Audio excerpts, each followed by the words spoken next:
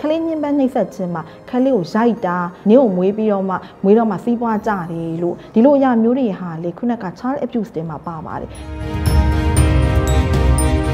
model development ကောင်းအောင်ကိုယ့်ရဲ့ကလေးတွေကိုတင် जा ပေးတဲ့နေရာမှာသူ့ရဲ့သိခေါ်မှုတွေကဘာတွေများရှိနိုင်ပါသလဲမှာခလေးတွေရှိမှပြောဆိုပြုမှုတာအစပေါ့နော်စင်ကျင်ရတာမျိုးအဲ့လိုအရာမျိုးလေးတွေကမိဘကိုယ်တိုင်လုပ်ရမယ့်အရာတွေပါအဲ challenge ကတော့မိဘပါပဲရှင်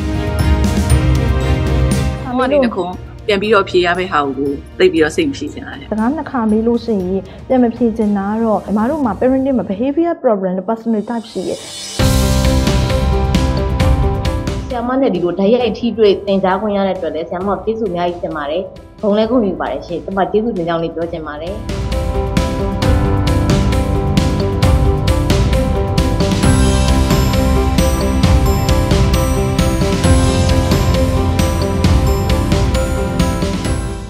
CFAM, caring for well-being.